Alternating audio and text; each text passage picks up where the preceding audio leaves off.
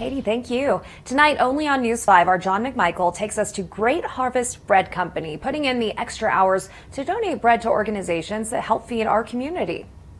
A normal day at Great Harvest Bread all starts with the baking. Then we're getting our fresh breads out. We're starting to get them sliced and bagged and engage with customers. But of course, recently, that hustle and bustle has been different. Much, much different, yeah. But even so, the company rooted in giving back. Donating bread has been a part of uh, Great Harvest since we've opened the business. Has ramped up their bread-based community support, even matching monetary donations to send as much bread out to groups that feed our town. We have some basic beliefs, and one of those is to give generously.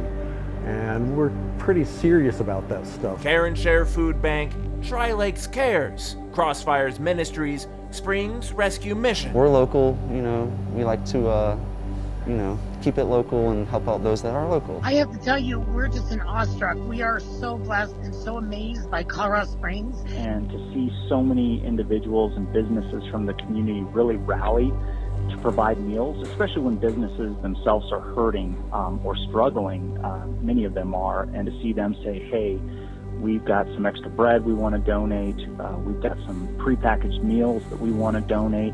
It's really made a big difference. Brings people a little bit closer together in times like this. In all the craziness, there are rainbows. You just have to look for them. The plan to keep giving back at this level for as long as they can. So it's hard for us almost not to do it because then it feels a bit inauthentic. Watching out for you, Colorado. Jon McMichael, News 5.